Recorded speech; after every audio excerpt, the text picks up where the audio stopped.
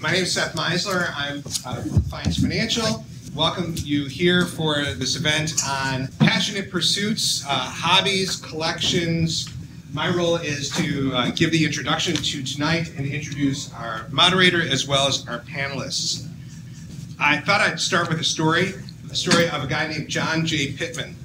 He was not a wealthy man to begin with, but he built a vast and famous coin collection. I accomplished this feat by studying relentlessly and shrewdly investing a large percentage of his limited income as a middle manager at Eastman Kodak and his wife's income as a school teacher. In 1954, he mortgaged his house to travel to Egypt and bid on coins at the King Farouk collection auction. John sacrificed his and his family's lifestyle over the course of many decades. And he passed away in 1996 with uh, apparently no regrets and his long-suffering family justly received the benefits of his efforts when the collection was sold at auction for over $30 million. so why did he do it? Why, why do we collect things from baseball cards to Barbie dolls, comic books to race cars? Some people collect for investment, yet you have to wonder how a penny can become worth thousands of dollars. Some collect for pure enjoyment. It's fun. Some collect to expand their social lives, attending swap meets and exchanging information. Uh, one collector of historical documents said that he collects because it's due to a genetic defect. Maybe uh, collecting is a, a human instinct, and we collect for knowledge and to learn, for relaxation and stress reduction, for pleasure, for social interaction, maybe for the desire to control, possess, uh, bring order to a small world. Maybe it's nostalgia, something that we grew up with or we saw that our parents had. Maybe it's for accumulation and for diversification of wealth. None of these motives are mutually exclusive, and maybe these collectors receive all of these and more. And tonight we have an opportunity to discuss those collections, whether we collect ourselves or maybe we were the fortunate or unfortunate recipients of someone else's collection. So our panelists today that we have here, and what I'll do is I'll introduce the panelists and the moderator, and then we'll let each panelist um, talk about themselves, about how they got into their collection or of what they're doing, or their expertise with regards to that. So first we have Sharon Zweibaum, um, and she is a public art expert, a gallery administrator, museum lecturer, and fine art collector. Next, we have Bill Norberg, and he's an owner of Golden Valley Stamps and Coins, so expert on both areas, stamps and coins. We have Phil Rosenblum, who's managing director and insurance advisor with Barron's Management Group. He is an artist and collector of art and can also talk about insuring uh, collections. And then we have Brad Frank, an estate and corporate planning lawyer at Barnes and Thornburg, and can talk about some of the legal and estate planning aspects certain things he may have seen for people who either are uh, trying to decide what to do with their collection or beneficiaries of collections and situations that may have happened good or bad. And finally, we have uh, Steve Warren um, at Lehrman Flom, Director of Taxation, can talk about some of the tax issues and hobby issues, even maybe uh, loving what you do and to become turning it into a business. And finally, we have Steve Lear of Heinz Financial, who may have a different opinion on collections and whether it's uh, a passion and not necessarily an investment. Would you like to just give us a minute of, uh, I know it's not enough time, would you like to give us a minute of uh, who you are? You wanted me to stand up or sit down? Um, Can everybody hear? Okay, then you're gonna have to stand up. Okay. Thank you. So this post-it note was on a photo disc that I just received from an Iowa resident who attended an April 1st art and architecture tour of the Twin Cities that I led for some folks who were visiting. It reads, "Thank you for sharing your knowledge and passion. Those qualities connect directly to tonight's topic, passionate pursuits. Knowledge and passion drive my avocation which consists of three main parts delivering public art and architecture tours through my Art Vantage service, exhibition management, and three most pertinent here art collecting. These activities are based on a lifetime of study, on great enthusiasm for cutting edge art, on keeping an open mind, on constant clipping of newspaper articles, and on personal networking. How did art appreciation become a passion for me? The awakening came from my St. Louis Park High School art teacher, Wendell Hears. From 10th grade on, he showed us slides of great works of art and architectural monuments. This moved me so much, I wanted to study all the creative works in the universe. I earned BA and MA degrees in art history and over the years had five gallery management jobs. I pursue self-education by subscribing to periodicals and studying everything I can in print. You have some examples on your tables, and I'd like them all back. I treasure everything in my house 5,000 books and magazines. My 45 year tenure at, as a tour guide at Walker Arts Center has helped immensely. My late father was worried about my choice of college majors and would ask me, Can you make a buck at that? yes, Dad, I made a few bucks in gallery work. My late husband Jerry and I began art collecting early in our marriage, one choice per year with a hiatus during the raising of three children. Today, the collection consists of about 20 important works, mostly contemporary original prints. One factor stands out. We certainly did not select artworks to match the sofa. Later, I can comment about my experience with galleries, with selling at auction, how to pick good affordable art, and issues of preservation, insurance, and record keeping. Thank you, Sharon. She knows a few things. Bill, Good evening. I'm Bill Norberg. I started collecting coins when I was eight years old, pennies. When I was in uh, senior in high school, uh, one of my duties was to load the pop machine, which at that time was a dime. Somebody stole their grandpa's coin collection, and I got my Mercury dime set right down below. But I really didn't get passionate about stamps and coins until October 21st, 1978. A pharmacist friend of mine convinced me that I should get into collecting for various reasons. His main point was do it for fun. Stamp collecting and coin collecting sure at first should be fun. It is also a good investment many times, but secondary to having enjoyment. Um, my wife and I own a stamp and coin shop up in Golden Valley. Uh, next month, it'll be 25 years that uh, it's been open. Uh, I retired from selling pharmaceuticals 20 years ago, so I've been extremely active in that coin and stamp shop for the last 20. My wife ran it for the first five. Uh, we have auctions, we sell stamps. With the new coin laws, we made the decision in Minnesota that it is very difficult to sell coins. The law basically changes us to pawn shops, and we have to have license and bonding. If you go on eBay and buy coins online on eBay, you will find many of them won't sell to Minnesota customers. But stamps are wide open, and uh, it's one of my passions. I'll point out the most valuable thing in the world is a stamp. It just sold for $9.5 million. There's one known stamp, the British Guiana, black on magenta, so valuable that even the Queen of England cannot afford to have it in her collection. Thank you. thank you. So you were riding on your wife's coattails? I just wanted to make sure. Bill, We, we're standing up. Okay. uh, we are standing. Uh, yeah. Uh, I'm Phil Rosenblum. I uh, studied art in college, and my first job out of college was as a full-time contemporary artist.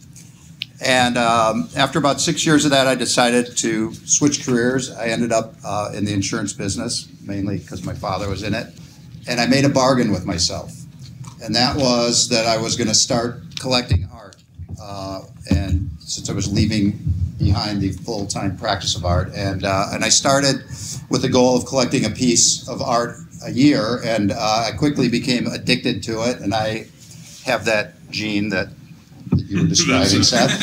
Uh, and, uh, and I just love collecting uh, contemporary art. I have a, a large collection that fills up our office and our home.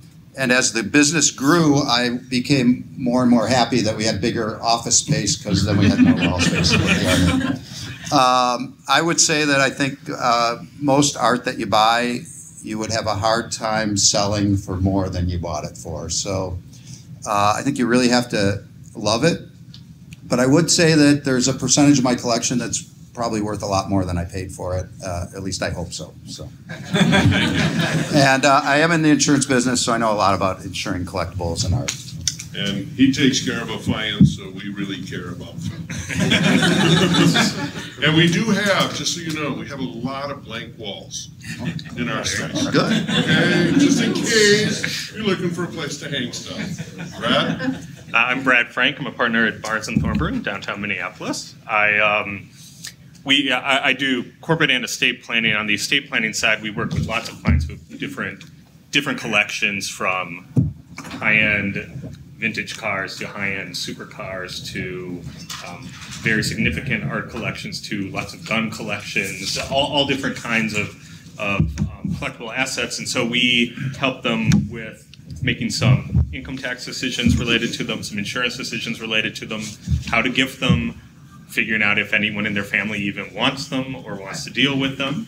And um, uh, unfortunately for the families, oftentimes we end up refereeing in a very expensive way fights over the um, tangible personal property. So we get to see all aspects of it as it relates to moving those assets through the generations. Personally, I, I think the only thing I really collect right now, I I have three young kids, so it appears to be like plastic.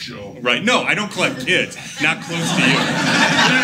but but um, but but no, I no, I seem to collect um, you know like plastic toys from Southeast Asia. So so that, that um, and I actually and, and in the last couple years, my closest friend uh, from college has become the niche he's developed for himself as a lawyer in New York is, is an art lawyer. He works with a lot of collectors galleries and um, some significant artists, and we've worked together on a lot of matters. And it's been fun to watch him pursue his passion because it's sort of similar to Phil. I mean, he became sort of an addicted collector and made it his practice. But I've been I've gotten to work much more closely in the art community i- i- specifically. So that's been fun. Yeah. Ward? I'm Steve Warren. I'm Director of Taxation at Lehrman Flom and Company. And what I do is I head up our small business consulting area. And an increasingly important part is dealing with situations clients come up with. Sometimes it is just taking an idea and seeing if it can be a viable business and maybe it'd be a hobby. Also, something important to keep in mind, sometimes you deal with situations like, okay, we have art or other collectibles, is there a better way to structure things for tax purposes? And another thing that I do on the side, I am an adjunct professor at the University of St. Thomas's Graduate School of Business.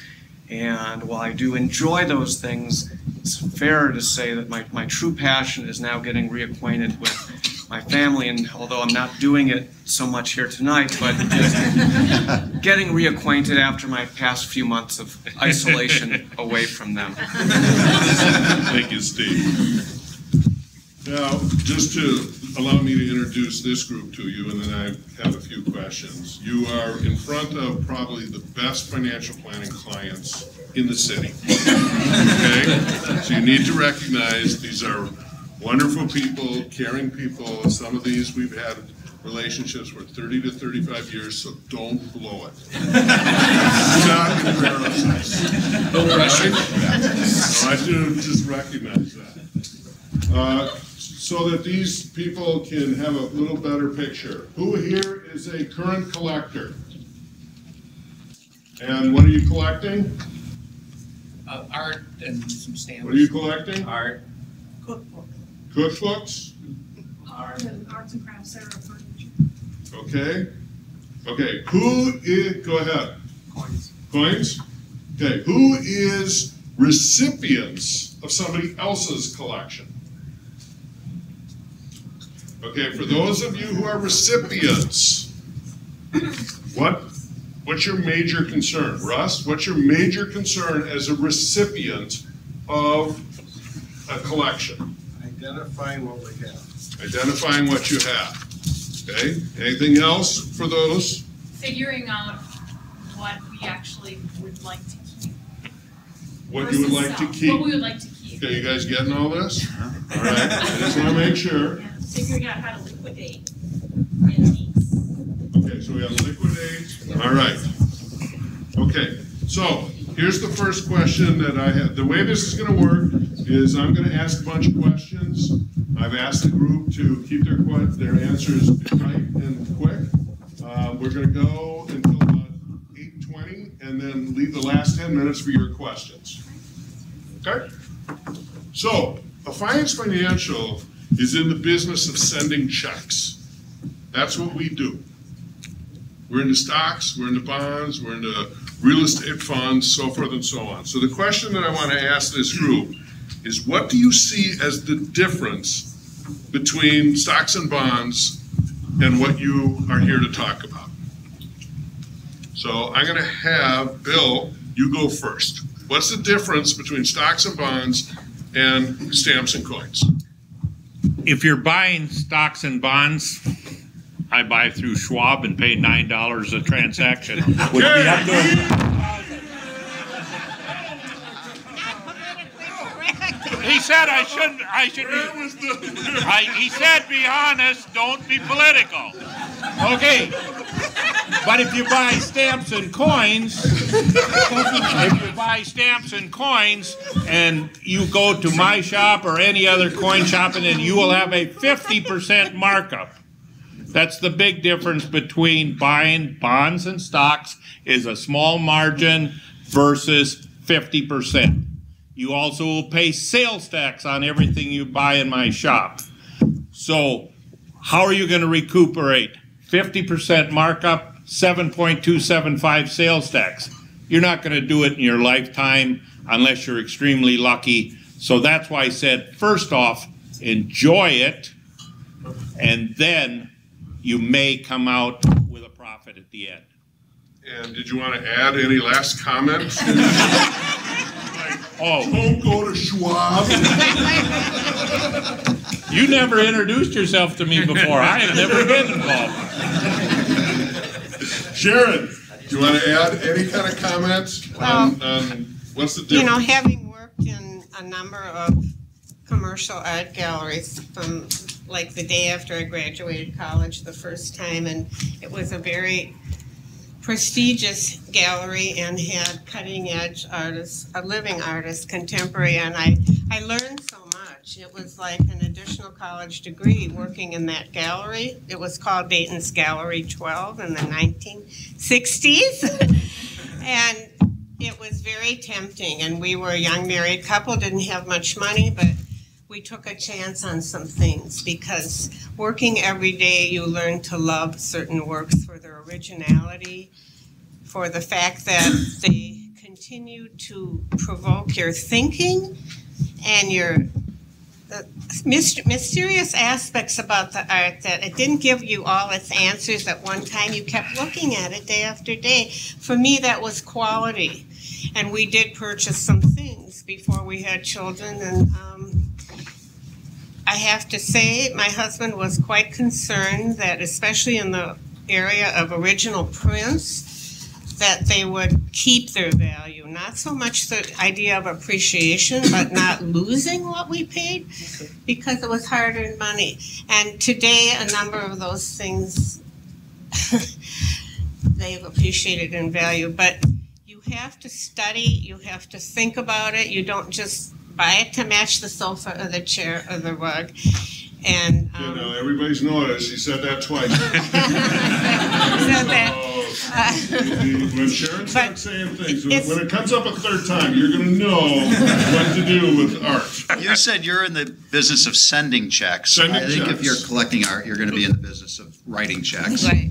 Um, and it's, it's not liquid. So, you know, it's something, if you're buying it, you're gonna hang on to it for a long time and then, um, hopefully, uh, maybe, you know, you, uh, in the future, you can sell it for more. So it's, it, it can be an investment, but I wouldn't look at it at all in the same way that I'd look at a, uh, a stock or a bond. The nice thing about it though is while you're holding it, you can put it up on, on the wall and you can enjoy it and, uh, and you can't really do that with a stock or a bond. So I think it's one of the, the great things about having, uh, art is that, you know, it's, it enhances your life and it can enhance the environment. And for me, I'm very visual, so I like having art around. Thank you. My two nerds. Bring anything to the table? Well, I'm sorry. Not- not Two, ne- never mind. honestly, no. I I really don't have much on point, except I, I'll just take this half minute to say that I'm really impressed with Seth, Steve, and Andy for bringing this opportunity for you guys to improve your lives, find ways for you to spend money other than with them.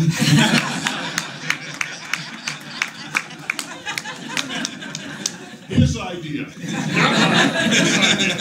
Steve, one, one way that I think it's, Please. it's similar to stocks is, I mean, if you really, I, I look at it almost like a portfolio kind of a thing. So if you're really hoping that you, your art appreciates, I think you need to have a, a variety of it. You know, it's like if you buy one stock, you're putting all your money in that one company and you're hoping that one's gonna go up, but you could lose it all.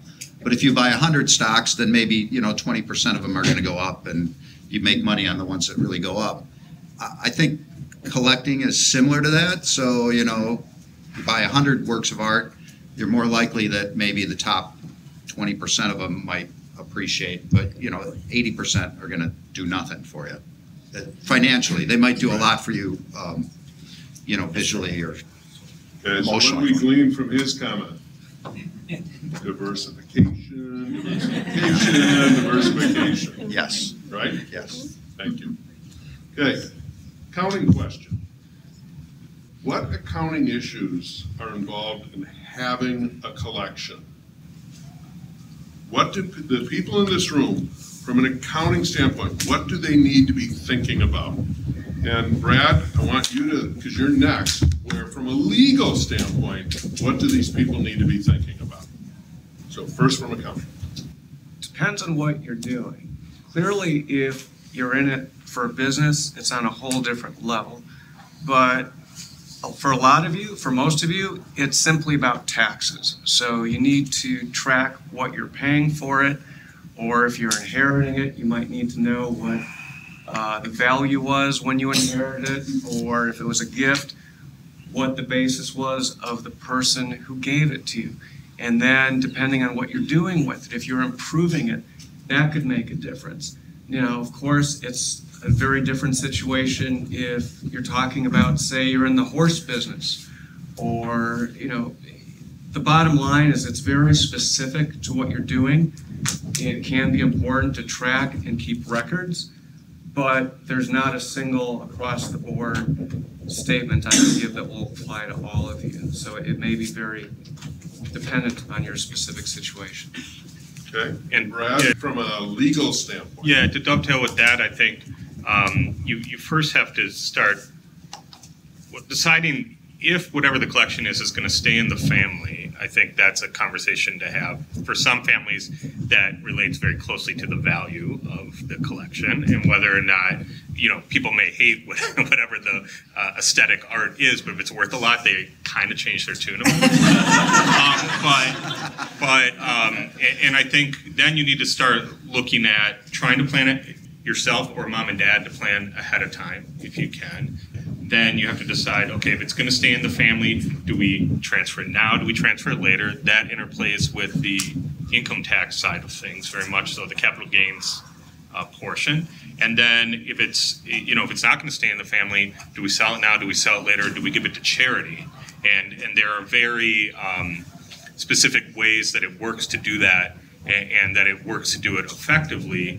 And then the last part is if it's gonna stay in the family and we're not gonna give it to charity, going back to how much is it worth? And, and so if it's worth a lot of money, it's gonna cause estate taxes possibly. But we don't wanna have a fire sale situation, and so how do we pay those estate taxes? And so there's, there's sort of this broad array of questions that relate to the, to the collection and how it's gonna pass down through the generations. And, and sort of working with your advisors, you can get to, um, the main goal of, for most people is we, we know we want it to go to either charity or to the family, but we don't want to somehow benefit the IRS through all of this. And there's um, smart ways to do that and not as smart ways to do that. All right. And, and the IRS has its own opinions on it. Go ahead. Uh, as a stamp and coin dealer, I do not send you a 1099 when you sell your collection. So I defer to your lawyers and accountants on how you should handle it. But if it's a modest, uh, collection, it's considered personal property and they'll tell you where it becomes modest and not modest and would have very limited tax, uh, consequences. Okay, thank you. It'd be like bringing- selling a, an old couch or something like that. But there is a number where the IRS will want to know about it. Do you know what that number is? It, it's actually not a defined number. If you have any kind of gain, it's subject to tax. And it does get complicated because when you're talking about a collectible, it's special. You're at a higher rate. It's at a twenty-eight percent capital gains rate. So as opposed to your normal lower rate. Yeah, I'm gonna, I'm gonna put a situation on the table here in a second, but Phil, I want you to prepare for, as an insurance person, what do these people need to know about insuring their collectibles? Not yet, let me put this situation on the table. Got a lot of people who are recipients of collectibles, so now you're thinking of selling it. Now, how many of you got a analysis or evaluation of it when you received it? Okay? Is this a problem, guys? Yeah, it's gonna. It's starting to change. Um, it, it, it's a problem for a lot of reasons. One is because I think somebody noted before, it makes it hard to even know if you should sell it, right? Because you don't you don't know if there's a value. Um, if there was a taxable estate, there should have been there has to have been a valuation done. But it didn't used to be that easy if you were the beneficiary to necessarily find out what that value was.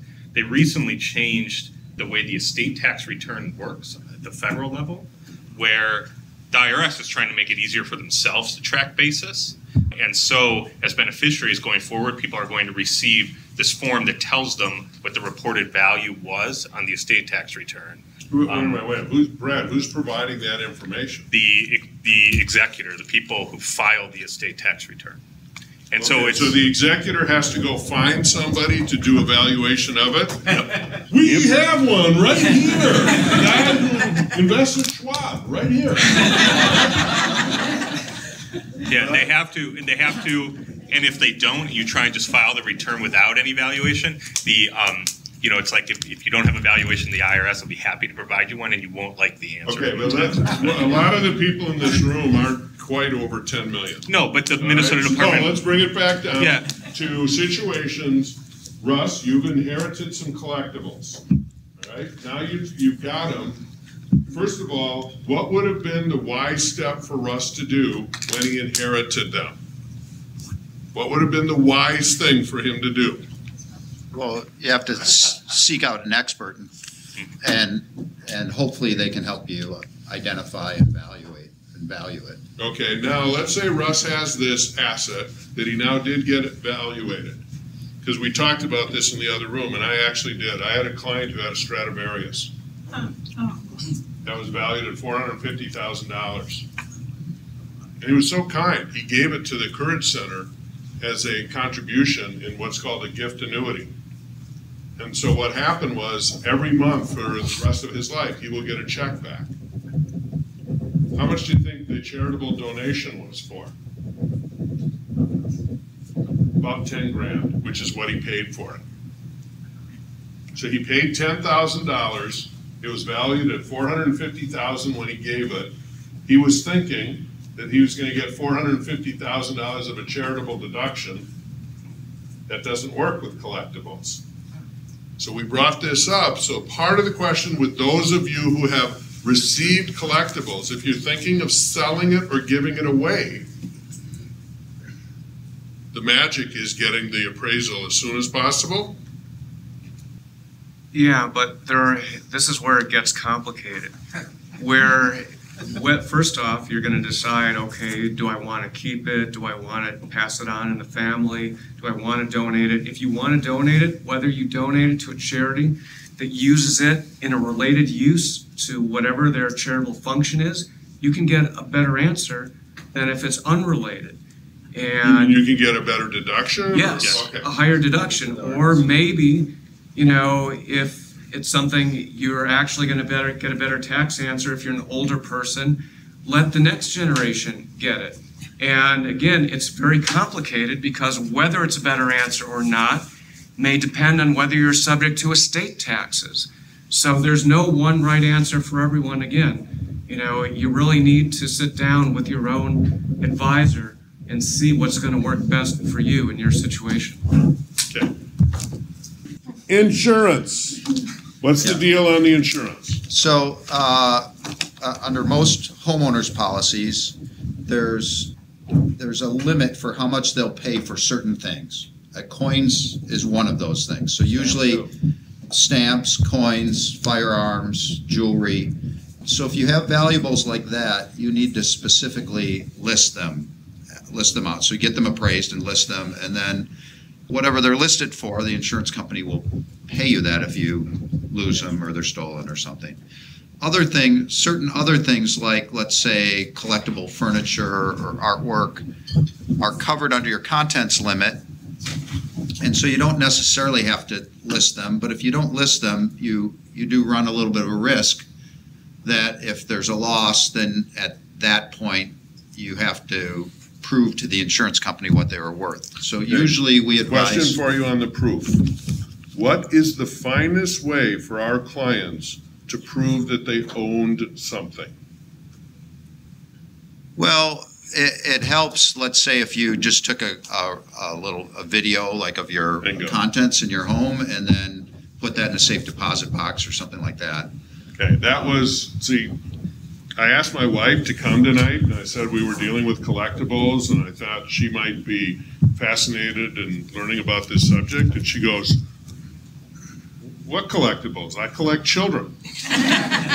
Children and grandchildren, I don't have collectibles. But I wanted Phil, do they, do, when, when a client goes to claim, Yep. and you've got the recording, do they take that seriously in paying off those claims? Or are there battles that go on? Well, that helps. I mean, it depends what happens. Okay. So, you know, usually, I mean, if your house burns down and there's nothing left, it really helps that it, you had that. Usually, a house doesn't burn down so that there's nothing left. So, usually, you can sort through what's there and you can kind of inventory it. But it's much easier to inventory if you have a, a video, some kind of physical proof. But and it depends a little bit on the insurance company and, Okay. and all that. Bill, did you have something you wanted to add? Uh, if you are collecting stamps and coins, there are associations like the American Philatelic Society and the American Numismatic Society. They have insurance companies that will sell insurance. I'm going to offend everybody tonight. Uh, They have policies that are significantly lower than if you put a rider on your homeowner's insurance. Yeah. And, and I, Marcia, make sure we, uh, you know, the gift that. cut him right off. As an example, one of my friends was in the St. Peter uh, tornado, what, 10 years ago, whenever that happened. He called up the insurance company and said, Two of my three books blew away. He was insured for 20,000. They gave him two thirds of the 20,000, no questions asked. So if you are into a society, they can get you a better insurance pro- uh, product. Okay, I have a question for the two of you. No, Bill, I have a Sharon. question uh, regarding No, insurance. I'm the MC here. I'm the MC.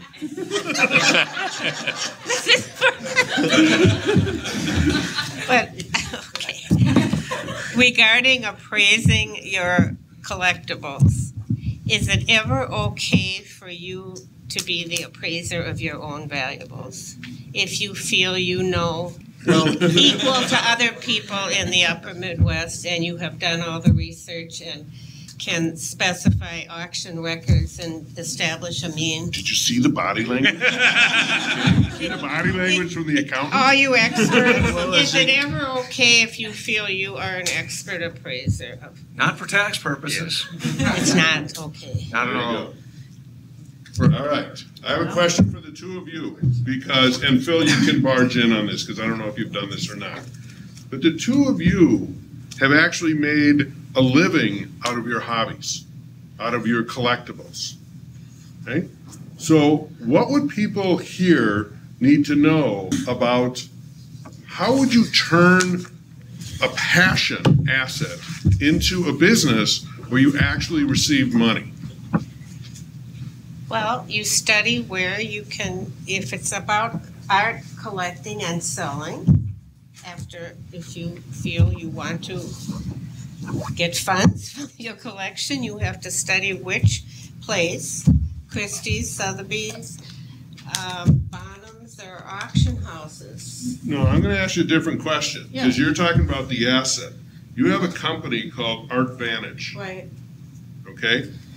So you give tours, right. exhibits, lectures, all this stuff. Do you do this for free? No.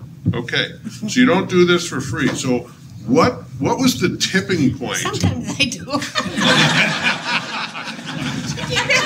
Got cards? Okay, Sharon, what, what was the tipping point for you when you turned your passion into an income-producing entity? What was the See, it's- tipping point? it's- Okay, so people have come to me because I gave a few public art tours starting in nineteen eighty-one. And word of mouth spread and groups would come. I toured the Pasadena Art Alliance, the Contemporary Art Society of Albuquerque. I'm not, I don't have a website, I don't have a brochure.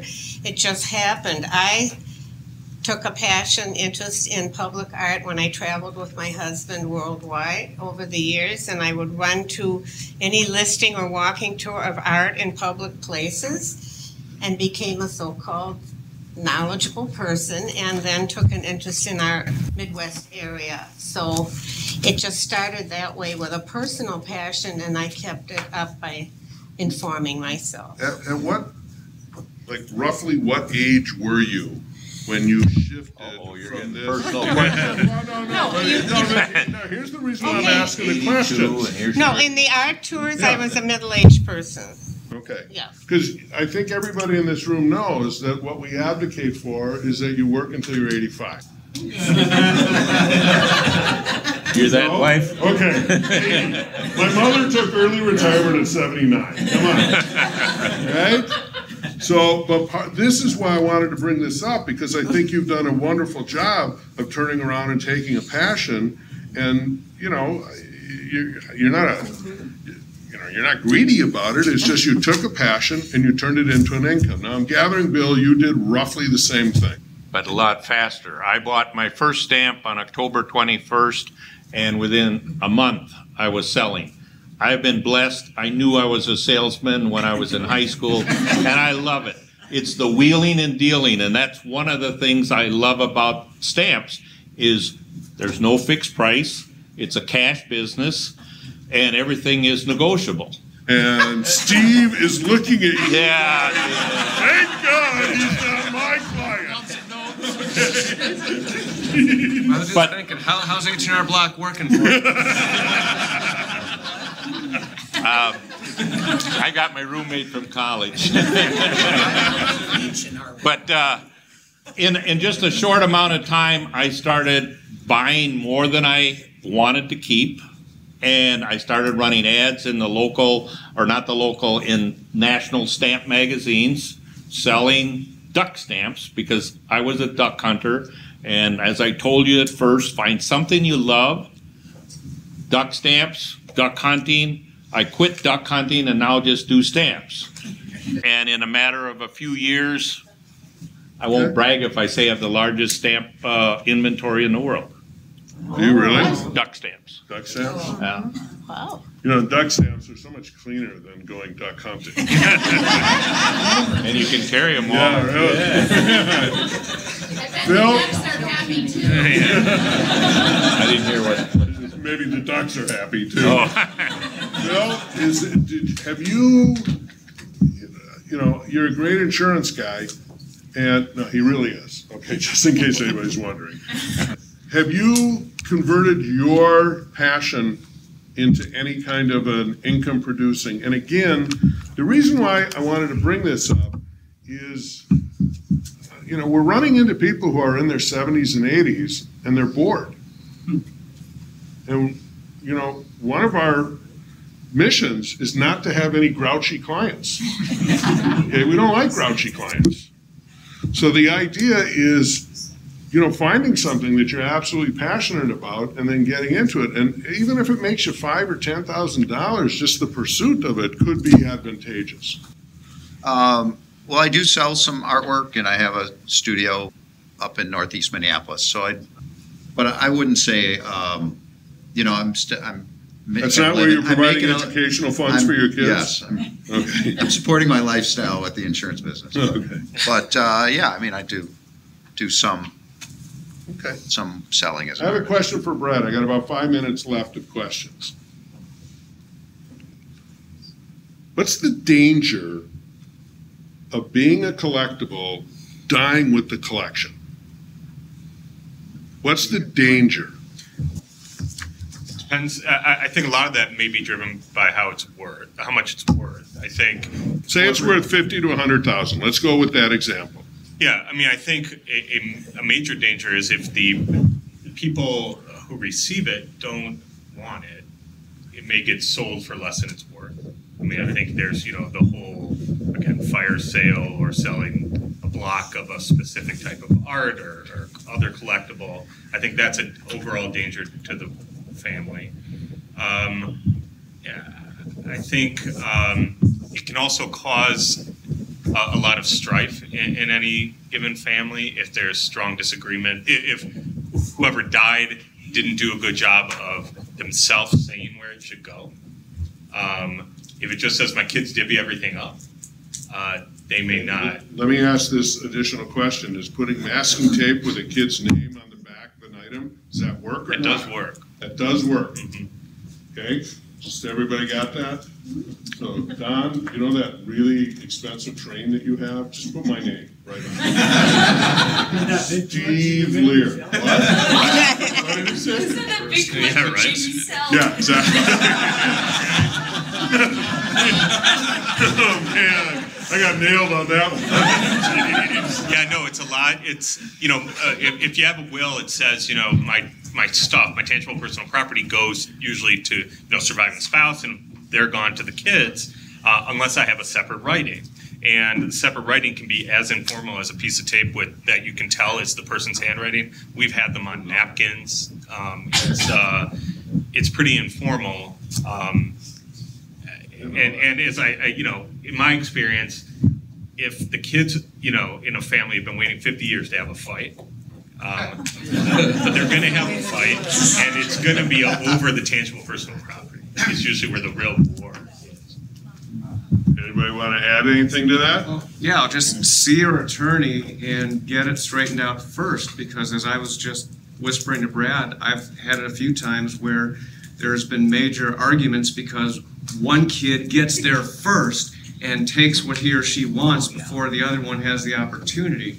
So if you see your attorney and get it in writing first, you're gonna help things with the next generation as far as getting along and doing what you want. Yeah, I had, I would say two years ago, I had a case where we had the siblings spent probably $45,000 on lawyers on fighting over stuff that was probably worth $12,000. I, I think you do your children a big favor by getting that all straightened out ahead of time. Hey, Bill, do you want to add anything? Bill or Sharon, do you want to add anything to these stories? Um, a, a client, uh, brother made it to mom's estate when she was downsizing and she got two painting, or he got two paintings that were worth ten to fifteen million dollars. He just got a U-Haul trailer full of all the silverware. He he still hates his brother. Um, and, and he's somebody I work with every day. Now, we, we have a, Vicky, you'll be next. Um, we have a situation right now in our city where this is potentially gonna turn into a really big thing.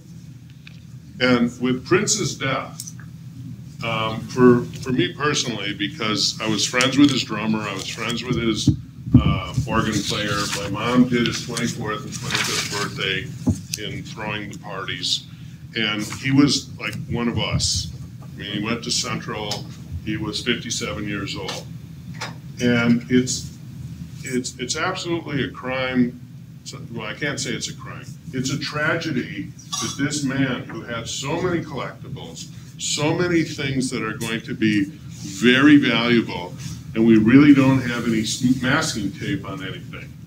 And all I can think of, all I can think of of what happened with Prince, if this pl- plays out, is that he could have set up the school districts in the Twin Cities to having funds that could have paid for music teachers for years and years and years.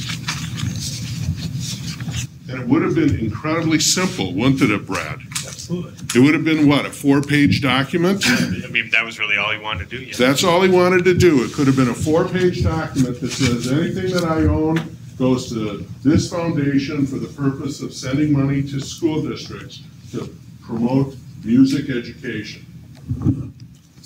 So, this, thank you for bringing this up and answering that question. Nikki? It's not the intrinsic value that caused the problem. I had a, a matter where the folks argued for weeks over mom's autograph book. And Was Prince in the autograph Dean Martin may have been. But but it's not uh, that it was so valuable. It just, it meant something to one of the kids. right. And the other one was spiteful. So you designate. Okay. That's the problem. It is eight twenty-one. Questions? Yes. For the valuation thing, it seems like that can be complicated because you might want a low value for the estate taxes, but then you want a high value for your insurance guy, right? All right, let, let- let me, let me repeat the question so that this group knows that you heard everything. What's the dilemma between wanting a low valuation for estate tax planning purposes and a high valuation for insurance purposes? Which of those valuations really stands out?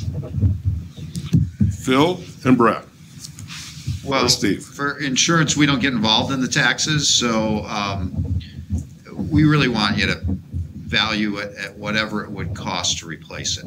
And certain things are irreplaceable, but uh, but a lot of things are replaceable. So or, or more or less, you can get something that's very similar. So the Well, duck stamps aren't. but you can There's at least a million and a half of every one. Okay, never mind. They're very replaceable. so you know uh, like If Anybody certain, needs them, you know where to go. certain works of art are um, yeah, are unique, but a lot of them are like prints that you could get a the same print, you know, um, or a different number, um, or you could get a similar unique piece from the same artist or something. So, it, I mean, for insurance, you want to value it at what, whatever it would cost you to replace it. So should you get two valuations done? I, I don't have an opinion on that. But How do you do that? No, you're, you're, you need to use a qualified expert in the field who's certified. And there are other strategies you could use, you know, so you need a real, true value, which would also work for replacement. But maybe you put it in a, in a family limited LLC or limited liability company or partnership and you can take a discount. You know, there are other ways where you can reduce the value by strategizing that go beyond just what the appraiser says. And it depends what the asset is. If it's art in particular, the IRS um, pays very close attention to art valuations, and they have um, this art appraisal board that they use of experts also for very high value items. That there are a lot of really interesting cases that are involved because it's about sort of cool art or weird art or whatever. But the IRS knows that there's this very um, broad uh, spectrum of, of how valuations can come in, and so they pay close attention to the art ones in particular. Sharon?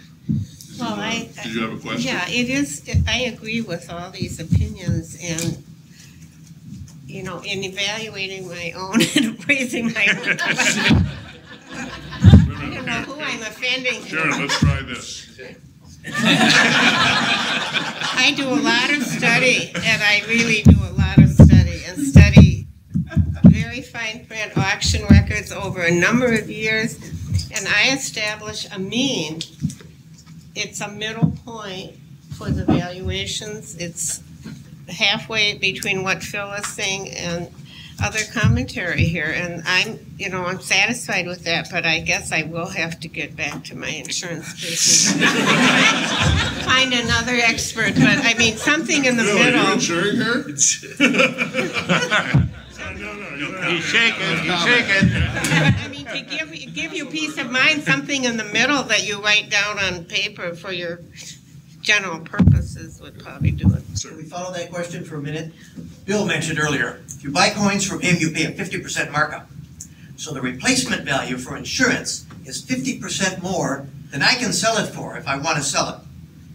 Unless it's Now, a, unless it's a gonna me, valuable You're gonna item. tax me on what I can get out of it, right? So, so there's a different value than the appraisal value, or than the replacement value. Well, you're talking about what is fair market value. Right, but he's not gonna charge me fair market value if I wanna buy another one, so I need more money from my insurance company to be able to buy another one than fair market value. Well, he- here's how I'm interpreting the question. Phil, you talked about replacement costs, and he's talking about fair market value. So from an insurance standpoint, what do you think the claims elements are? Or, yeah, let's start there. It depends a little bit on the insurance company, but usually if you list out, here's the value that I'm insuring it for, they'll just write you a check for whatever you listed out as a value. But some insurance companies will pay you up to hundred and fifty percent of that value if you can show them that you actually went out and replaced it with like kind and quality. So if you, let's say you have a coin and you have it valued at five thousand dollars and you, and uh, the insurance company's gonna pay you five, and then you, you say, well, no, I went to Bill and I, and I Oh. tried to buy it, and yeah, and he marked it up, it cost me seven to get the exact same coin I, I had. Uh, some insurance companies will pay you the seven, some will just pay you the five, I mean, it depends a The little. important part of that question though is what is the IRS gonna do to me on capital gains? No. Are they gonna say it's worth seven even though it was only worth five? It's what your fair market value is. And insurance, it could be different. You know, if you've got a replacement value policy, then yes, maybe you'd actually be able to get more and go to someone like Bill and line his pockets. right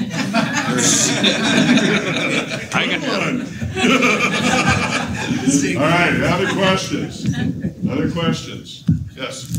A question about art and, and local artists. I mean, obviously in the Twin Cities, there's a pretty vibrant local art community, but from your experience, does, does local art, you know, given the fact you may not make a lot of money collecting art, but at least art from local artists, does it generally hold its value or not as much because they don't have the reputation that if you're buying a Renoir or a Monet or Can I add to that question? Two of you? Who, who, Sharon and Phil, who are the local artists that would be considered to be valuable besides you? Uh, There, there are, um, I, I think there's a limited number of local artists who you could say are collectible and, and would definitely hold their value, but there's a few. Uh, you know, just a couple of names, David Rathman, Alec Soth, uh, Todd Norsten. I mean, there's a, there's a few that, that have a little bit of a, you know, a national presence. Um, so right now, you know, they're selling, but it's really hard to know. So they could, they might be doing okay now and then later on not, not so well. I think you're, you're rolling the dice more. But the, but the truth, the truth is you can buy some fantastic local art that would, that you'd be really happy with and it's less expensive. Uh, but it's more of a long shot that in the future you'd be able to sell it for more than you paid for it or even sell it for as much as you paid for it. Sharon, do you want to add to that? Well, there, there've been local artists who have had renowned in the renowned in the upper Midwest and have had commissions, public art, um, paintings, all shows. And as soon as they die, I mean, the widows are left with, you know, hundreds of these paintings, and I have seen that they cannot get any funds from them. So I mean, there- late, uh, recently, uh, a Minnesota artist passed away, his name, uh, Charles Biederman, and they've been selling off his estate, and that, that art's worth something, and it's been selling, you know, one of the local galleries here has been selling it off, and Okay, Bill, did you have something you wanted to add? Well, w- uh, duck stamps, the three Hautman brothers uh, are famous throughout the country because they've won more awards. And uh, wildlife art peaked in 2000, 2001, and it has plummeted dramatically. Um, things that would have brought uh, seven, eight hundred dollars for a piece, a print, now are 60, 70, 80 dollars. So it depends on the field, and, you know, I'm very familiar with the wildlife uh, area. Uh, So, Okay. I'd like to, more questions? Or are you just showing me the pen? Auntie Reba. my claim to fame. Um, who, if you own, um, local artists who are well-known, who would you take, how would you go about selling it, or who would you take it to? Good question. I- The question was, if you have art that you want to sell, where would you go? I think it really depends on who the artist is, so, uh, and, you know, what genre, so, uh, there's, like, for example, uh, Talking about Bud? Weinstein Gallery, Bud? Are you talking about Bud? Chapman? Bud Chapman? Golf artist. Okay. Oh, I don't have him. Okay. So, like Weinstein Gallery in town is a very good gallery, but they sell mostly photography and it's contemporary. So, you know, they might not be good if you're trying to, and they might not be good if you're trying to sell like a, a painting that's uh, mid-century or something. So, uh, Sure. Sharon might know. Uh-huh. I'm sure. Wheeling and dealing. It's not on here. Reva, have you tried? Okay, uh, okay. have looked on, um, There, there's a show at the MIA right now. There's an exhibition at the MIA called State of the Art. The, um, the Crystal Bridges Museum in Arkansas sent curators all across the entire country to every state in the union to ascertain who are the rising stars, emerging artists in every state. There's a show at the Institute right now. One Minnesota artist was selected. Chris Larson, he's a video artist. I mean, he does other things, sculpture, wooden constructions. And this is a video of one of his constructions in his studio, and it's magnificent. But they found one artist in Minnesota where other states had a number of artists. So that was their opinion. So when you say, how do you buy and sell local, you have to just lo- expose yourself to every gallery show you can, every museum show. If you want to buy, learn to love it, live with it, enjoy it, and I, I guess I've not. And I've what? already, done- I've already done that. No, no, no, make sure that it's It's not hard to at your couch. If you want to, if you want to sell it, it's hard, it's really hard to sell it. But I might start just, go- you know, going on the internet and Googling that artist and finding uh, out if there's galleries in the, in the world or in the country that represent that artist. And that would be where I would start. It's eight thirty, so what I'm gonna add to, to be, Bill wanted to go home. no, I'm going to the wine and the beer. He wanted to get to the wine and beer. But they'll be hanging around here and don't hesitate to ask them any questions. But there's a couple people I wanna thank, and then I just wanna close and thank you. Tyler, you wanna stand up and get out of the corner?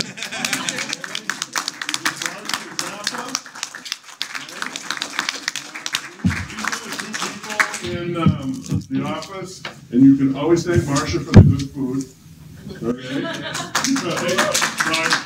Um, to the people in the office who've helped us, you know, promote and, and organize these. Uh, the leader of the marketing aspects of the company is Seth Meisner. And this was Seth's idea. He thought it was a great idea.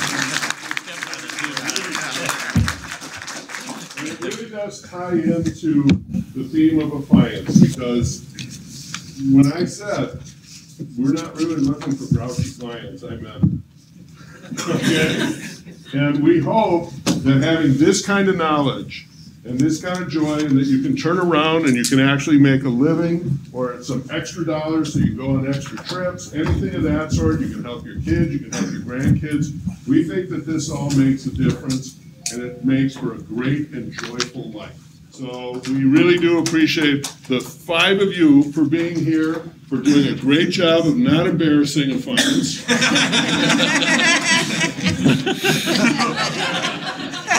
And um, to you as always, Andy, Andy um, spent a little time, he's fine. Is he fine? Is Andy fine? Is Andy fine? Okay. Just have a No, slight he's he's okay. Okay. But I know that on behalf of everybody at Affiance, we truly do believe that we have the finest clients in town. And that there, it's just a remarkable group of people, because we get to see you guys often enough and talk to you and find out what's important and what's not important. And it is, um, it- it's just such a pleasure. I've been doing this now for thirty-six years, and I can't tell you, how, oh, I can tell you, how interesting it is to come to the office every day. It still blows me away how interesting it is to come to the office every day, and the only reason why is because of you. So we thank you very much for your continued confidence, and feel free to ask any of these people any questions, and we have more food, and we have wine and beer. On the way. Thank you very much.